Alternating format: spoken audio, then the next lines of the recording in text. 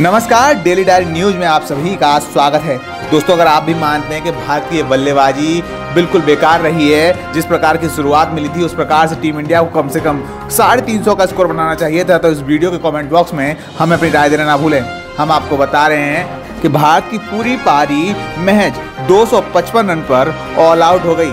जी हाँ भारत की शानदार शुरुआत के बाद भारतीय टीम को करीबन 300 के पार तो जाना ही चाहिए था, लेकिन भारत 250 रन का आंकड़ा ही पार कर पाया, जो कि काफ़ी शर्मनाक हो सकता है। और भारत की हार आज इस मैच में निश्चित नज़र आ रही है, क्योंकि इस विकेट पर रन बनाना आसान था।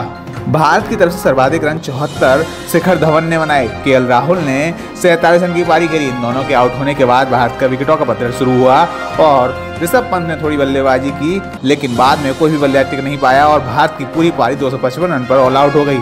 मिचिल स्टार्क ने तीन विकेट लिए, वहीं पैट कमिंस ने दो विकेट अपने नाम किए। आपको क्या लगता है? हमें अपनी राय देना कमेंट बॉक्स में ना भूलें। और अगर आप भारत की जीत अब भी उम्मीद कर रहे हैं तो इस वीडियो को लाइक करना बिल्कुल ना भूलें।